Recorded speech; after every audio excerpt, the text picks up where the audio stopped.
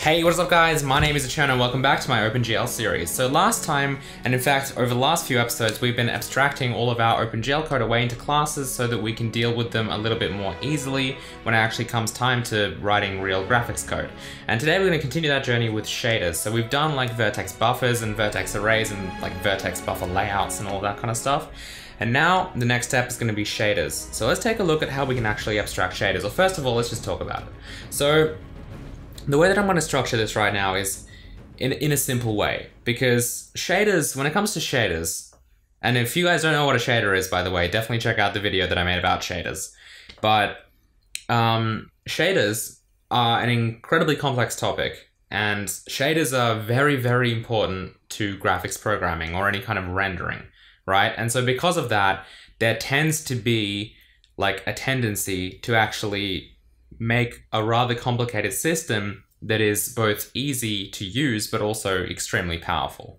So, in games and game engines, typically, it's very common to have a custom shading language, which then compiles into shader code for the each kind of rendering API or platform, and also is somewhat kind of controllable and extensible through the code at runtime, meaning that it's very common for games to actually generate new shaders and then have them be used for rendering while the game is actually running or while the game is loading or something like that, right? Shader generation and shader kind of creation on the fly is something that's very, very common. And in general, the whole like rabbit hole of let's write a shader system for our engine like tends to be such a massive topic and we're definitely not even going to scratch the surface today or in this entire OpenGL series because it's irrelevant quite frankly, to actual OpenGL rendering. When we think about shaders in OpenGL, like there's nothing to it. You just write text in a file or as a string and you're done. Like there's no real need for any of the stuff that I just described. That kind of stuff is typically used by an actual game engine, right? And we're not talking about, about that in this series. This is just about OpenGL. Later on, when I make the game engine series, we will definitely talk about that stuff and we'll, we'll definitely implement a way more complicated shader and material system and all of that in that series. So I just want to just want to be on the same page as everyone else here as to what we're actually trying to achieve today, because by no means am I trying to write trying to write a crazy shader system or anything like that right here.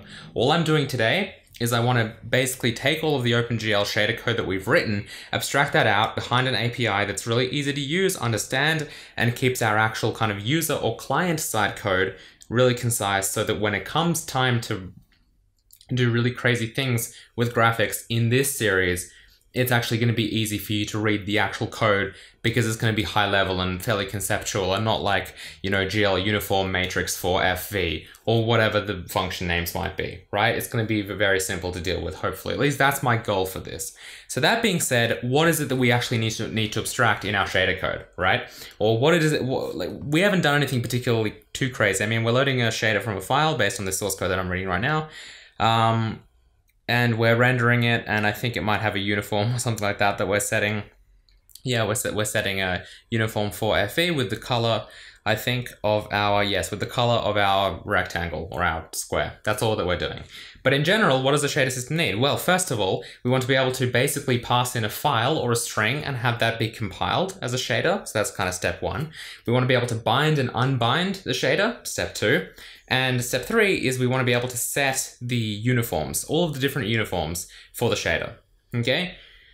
That's probably it for something that we're looking at right now. I mean, like reading back attributes, reading back, like being able to load in a shader and then ask the shader, hey, what uniforms do you actually have? And what types are they and all of that is something that would be incredibly useful. But again, that probably falls more into a shader system for a game engine, and that would actually require parsing the shader source code and all of that. That's way out of the scope. It's going to take way too long. Not something I'm interested in right now, anyway. Um, for this series, I mean. But yeah, I mean, we just want to be able to create shaders, bind them for use, and also um, set uniforms. That's it. So let's dive in and start refactoring the source code so that we can do all of that. Okay, so step one, under source, let's add a new item. I'm going to add a header file. It's going to be called shader. And I'm going to do the same thing for a CPP file. Okay, CPP file, of course, is going to include the header file. And let's go back to the header file and start editing it. So class shader.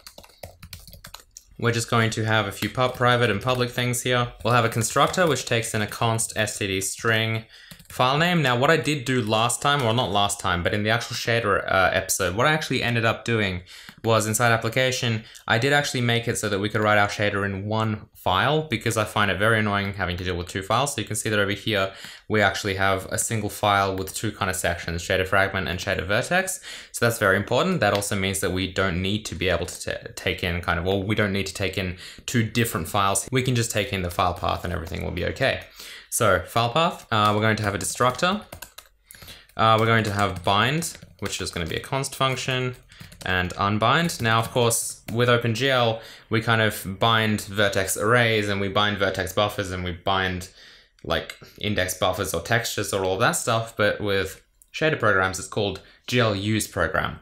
Now, since we're making this API though, we're going to be consistent and we're going to call bind for everything. So this is going to be bind and then we're going to have unbind, and that is, of course, consistent with things like our vertex buffer, which also have a bind and unbind. All right, and then finally, I want to be able to also set uniforms. Now, there are so many of these, and again, I'm not trying to create a complicated shader system, so I don't want to make something that's templated and then has to actually deal with its own kind of things. If I was writing this as actual kind of code for my engine or something like that, I would definitely just probably have a set value or set uniform function that was kind of templated and not even templated, but also like in a more complicated shader system, you would actually just parse the shader source code to work out what type a uniform variable was and by doing that, you can validate kind of what goes into it and also design an API so that you can just have set value and all you need is the name and the value and it will automatically set the right data and all of that. Something we're definitely going to talk about in the game engine series. But for now, we're just trying to keep this code really straightforward, really simple, so that again, when we actually get into making things in OpenGL, it's going to be easy to read and people won't have to be like, whoa, this is such a complicated system. Why build something like that? Right? It doesn't make any sense for this. So just keep that in mind. So we're going to have like a set uniform for F or something like that, which is just going to mimic our initial one, and then we'll add the other ones as we go along. So this, of course, is going to have to have a const std string name, and then a float, and then four floats for the value. So we'll just have v0, v1. If I had a maths library, which we need to get onto, I would probably just use that here.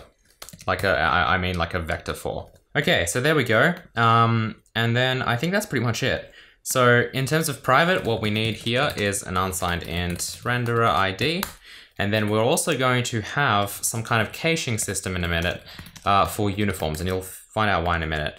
Um, I'll also have a private function down here, which is going to be an unsigned int, I think, get uniform location, and that's going to take in a const std string name as well. And that's going to be used to retrieve our OpenGL uniform locations. All right, right click here, and then using, using Visual Assist, I'll create method implementations.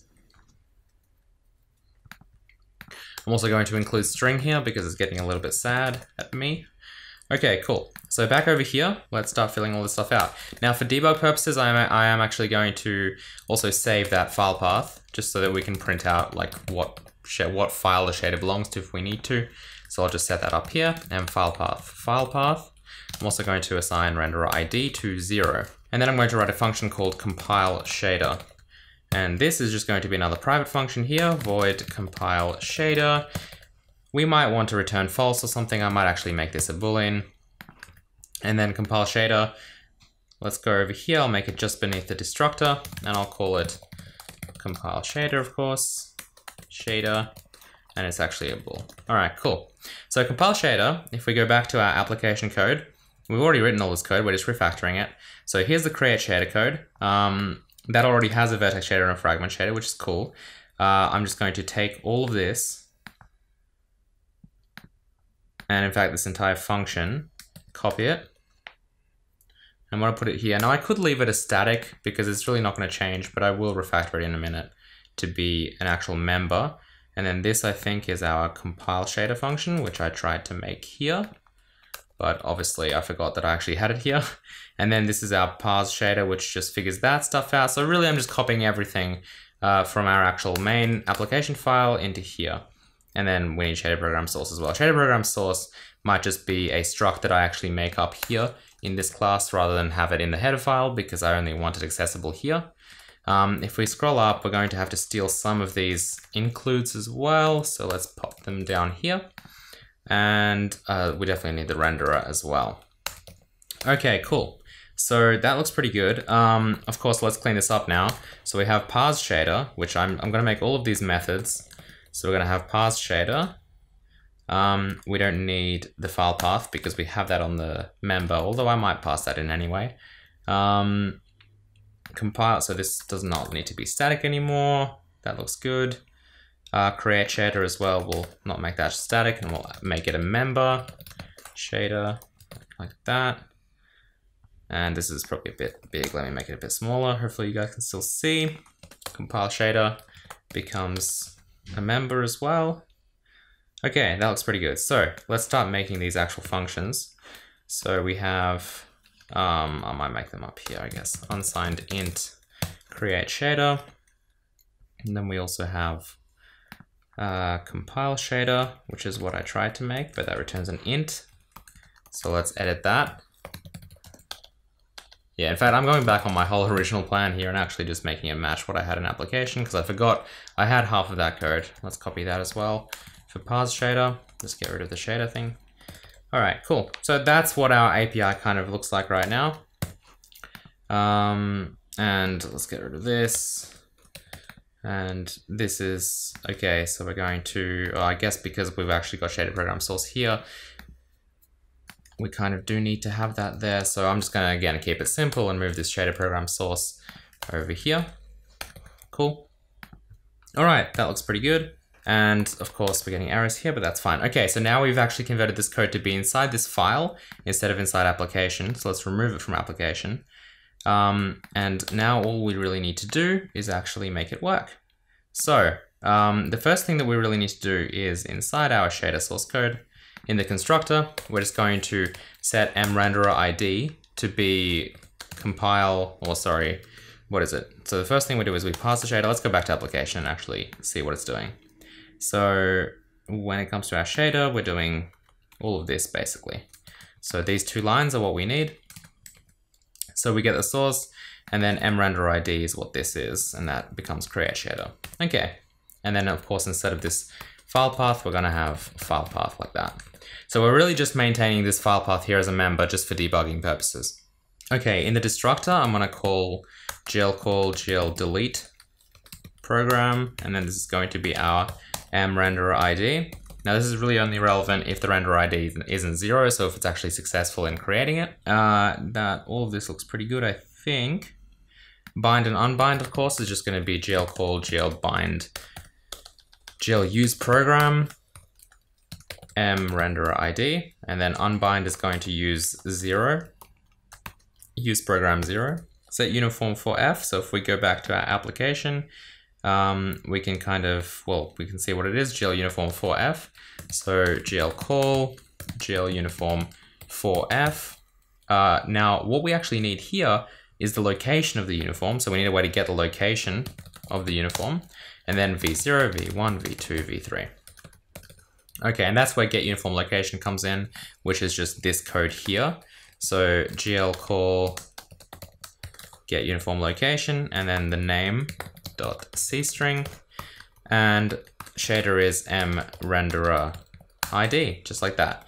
Okay cool. So what we need to do here is actually assign this. So unsigned int location equals get uniform location if location equals negative one, it means that we don't actually have it. Now we could just make this code assert here, but sometimes it's quite valid for us to actually have negative one as a shader location. So if we have a uniform in our shader, for example, and it's being used somewhere, but we comment that line out, or we declare a uniform, but we just don't use it yet, or for whatever reason, then that's going to mean that it gets stripped, which means that we don't have that uniform in the shader at all, and this is going to give us negative one.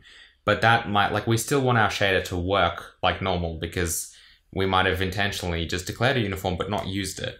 So that's why I don't want to assert here. But we may want to print some kind of message here being like, you know, warning, uniform, and then name doesn't exist. Just in case we have a rendering error so that we can see that. And then we'll also return that location. Now, this is going to become get uniform location name and this is get sorry get uniform location like that. So our, our actual function that looks pretty good. Um, just make sure you call this v2 and v3 and not f for some reason. Don't know why why I did that. Just switched halfway through. But v just stands for value in our in our case. All right cool. So that was pretty good. Now there is an issue that we'll address in a minute with the get uniform location thing, but otherwise I think that's pretty decent. Our code should work, so let's actually go back to application and hopefully our code does work. I'm actually gonna close everything but that. Okay, so this stuff is going to just become, uh, let's actually include shader at the top first of all, include shader.h, and then down, down over here, shader, shader, and we'll take in this path, and then we'll do shader.bind, then we can just leave it bound probably. And then instead of this location and whatever we're trying to set that variable, this just kind of becomes shader.set uniform for f, the name, which is u underscore color, and then the actual values, which is this thing here. And then I believe, so you can see how much code that reduces. It's nice and simple now. Uh, use program zero is just shader.unbind. Um, with bind, like buffers, we could probably address that in a minute as well. We don't actually, oh, we do have index buffer. We can do that in a minute. Um, GL use program shader, of course, is just shader.bind. And this again, which is shader.set uniform for F, U color, and then that.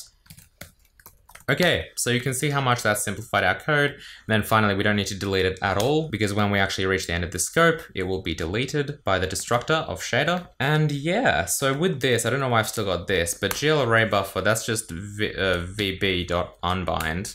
And then that's just ib.unbind, so we might as well fix that now. Just unbinding everything basically. I might just leave that like that. Okay, cool. So there we go. Looks pretty good. Let's just hit F5 or run this and see what happens. Okay, so it looks pretty good. We get the same kind of rectangle and the colors working, so everything looks fine.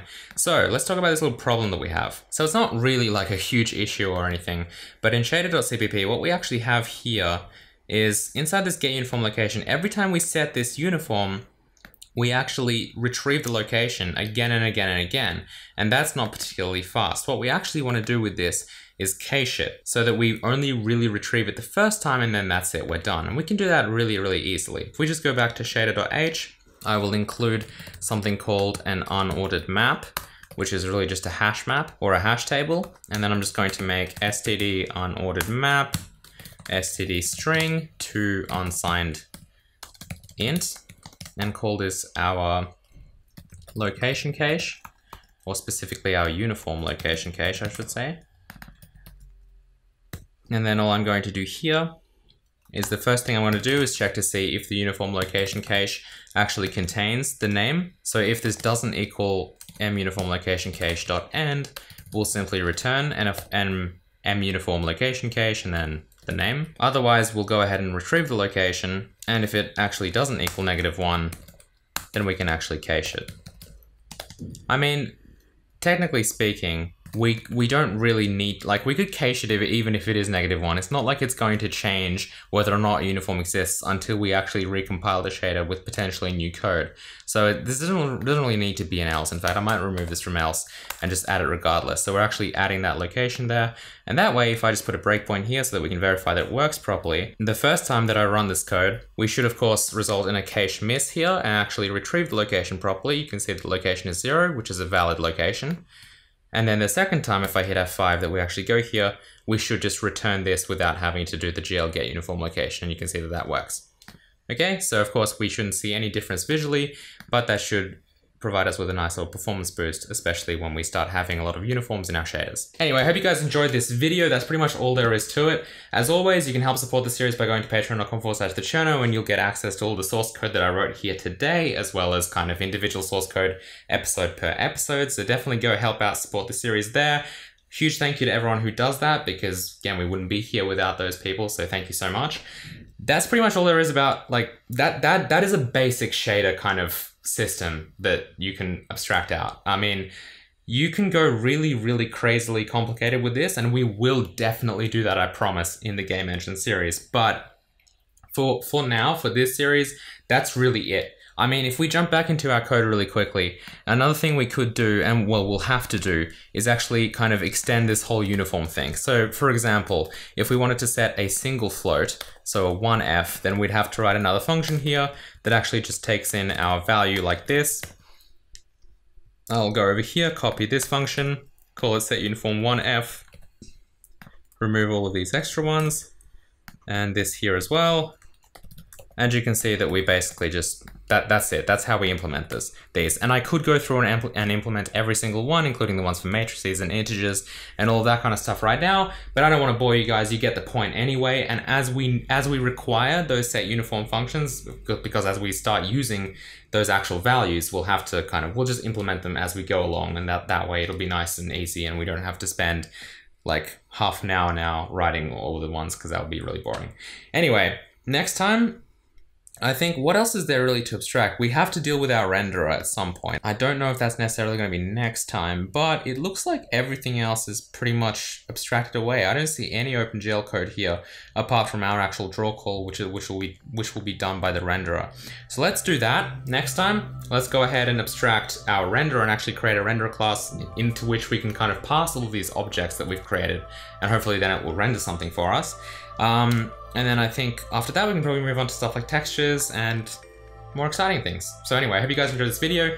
If you did, you can hit that like button to let me know and leave a comment being like, this series is awesome or it's terrible, do this instead, or whatever you want to write. That's what the comment section is for. Speak your mind. I will see you next time. Goodbye.